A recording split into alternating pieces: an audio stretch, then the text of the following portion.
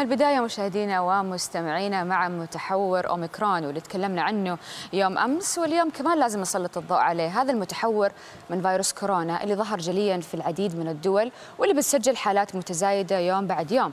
وسط إجراءات احترازية في محاولة لمنع تفشيه بينما يسارع العلماء لدراسته وكيفية الوقاية من حموض وهنا تغريد أشارت الصحة العالمية إلى أن بيانات متحور أوميكرون أظهرت أنه أكثر عدوى من ألفا ودلتا بثلاث مرات وأن إنتاج لقاح عالمي موحد هو الحل الأفضل ضد وباء كورونا.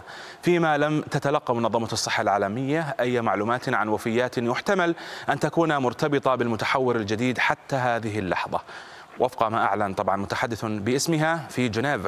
فيما نصحت كبيرة علماء المنظمة الأممية بأنه لا يجب أن يشعر الناس بالذعر بسبب المتحور الجديد سريع الانتشار.